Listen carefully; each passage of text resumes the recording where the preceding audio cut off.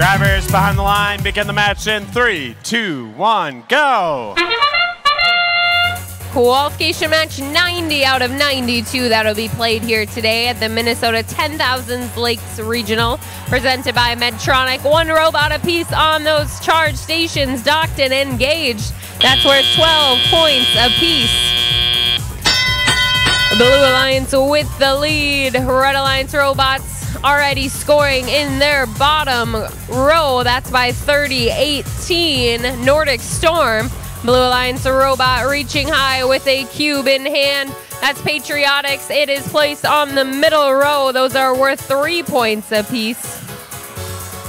42 15 Tribots. They also have a cube in hand. They throw it up and it lands in the bottom row. That's two more points for the Blue Alliance. RUR from the Czech Republic. They place a cube on the top row for the Red Alliance. Blue Alliance already has a one link completed. Red Alliance is working on their first link.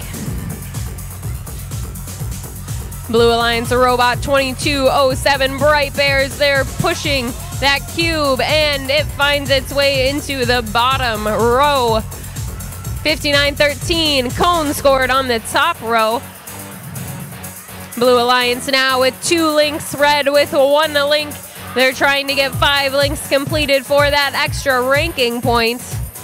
Wind Chill reaches up with Cone. Looks like they're going for the middle row. It falls to the side, but it might still count in the bottom row for two points.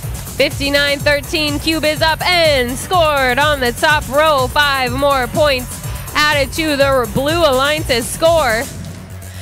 40 seconds left to go. Blue Alliance with the lead. 83-42 is the score.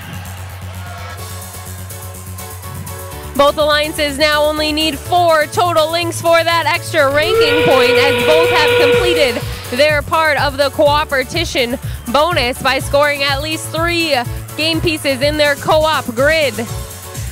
Blue Alliance holding on to that lead. We have one robot apiece on their charge station. Blue Alliance is docked and engaged by the Bright Bears. Red Alliance trying to get two robots on their charge station.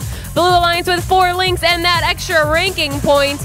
Two robots apiece on the charge station. Red Alliance teetering back and forth, and they are docked and engaged as the time runs out in qualification match is the winner 122 points. They also earned all four ranking points. Red alliance ends with a score of 80 and they earned one ranking point for the activation bonus. After that match team 59 13